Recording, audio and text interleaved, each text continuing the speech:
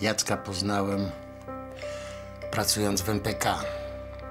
To jest na pewno jeden z wielu szeregowców Solidarności czy opozycji demokratycznej, który tak jak potrafił, tak starał się e, walczyć z komuną. Przypadek Jacka Żaby wydaje się, że jest e, symbolem bezradności III Rzeczypospolitej. Możemy patrzeć na to jako na jeden z tych przypadków, których nie sposób także pod względem historycznym do końca rozliczyć.